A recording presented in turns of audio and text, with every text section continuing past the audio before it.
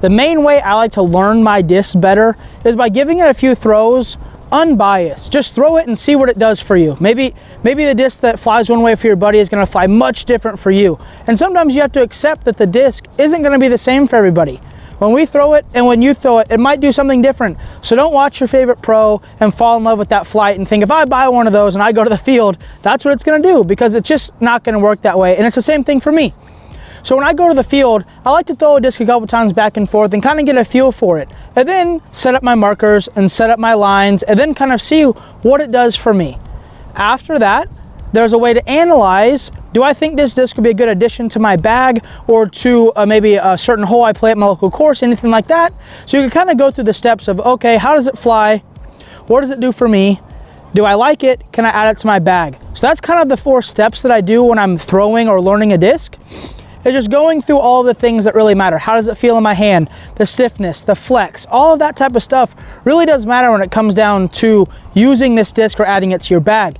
Because at the end of the day, if you're not confident with the disc, you don't like the way it feels, or it's a little too soft for you, you're really never gonna get the maximum results out of it.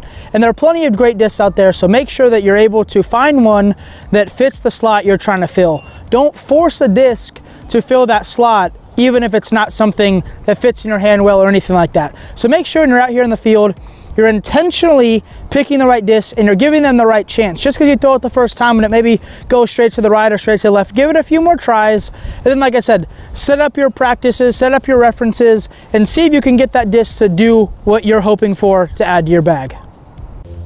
All right, so now we're out here in the field. I'm trying to add one of these composite arrows to my bag. The way I'm gonna do this to be fair and concise is I'm gonna throw them all on the same flat angle, the same grip with the same power. That way I can eliminate any variables. It's a super nice day outside today, so I'm really gonna get a good feel for these discs. And as we go, I'm gonna throw them all the same direction with the same intent. That way, when one maybe doesn't do what I want or I really favor one over the other, I can take the last two or three to the tournament this weekend and kind of figure out which ones I want for the holes we're gonna play. Let's see how they fly.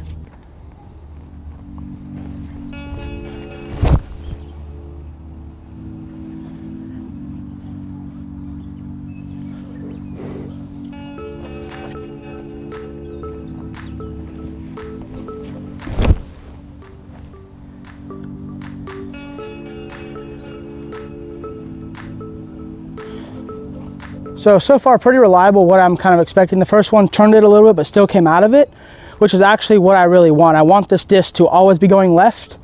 And even if I make the mistake of pulling it over a little bit to the right, I still want it to fight back and go left because this is gonna be a disc I'm gonna use where there's maybe out of bounds on the right or a tree line on the right that I definitely don't want to go in. So the fact that even on that first one I misreleased it a little bit, it's still fighting back left is definitely good.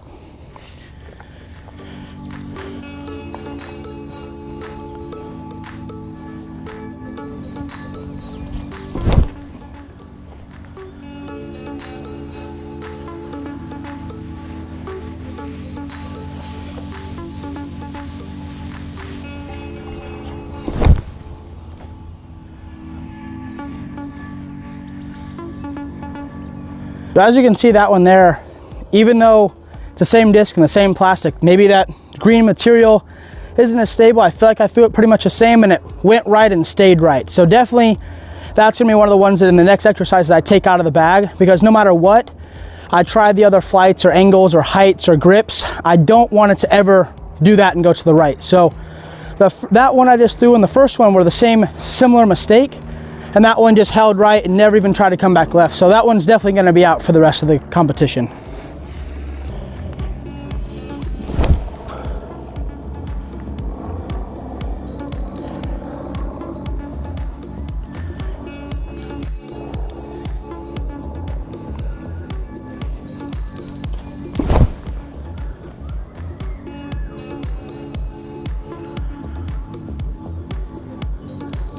So when you use this method of testing discs, it becomes very, very easy to see which ones might fit best in your bag for X shot. So while I'm out here, I'm trying to release them on the same angle with the same height and the same grip just to create consistency. That way that one disc that kind of turned and went to the right, it shows itself. I'm not, I'm not trying to throw them all different or make them fly the same. I'm kind of trying to throw them on the same angle with the same path and see what they do.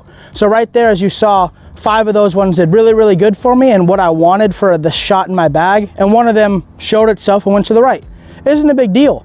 But overall, the flight of those five that you saw just go left there, exactly what I'm looking for to add to my bag. So let's try some different angles and see what we think about them.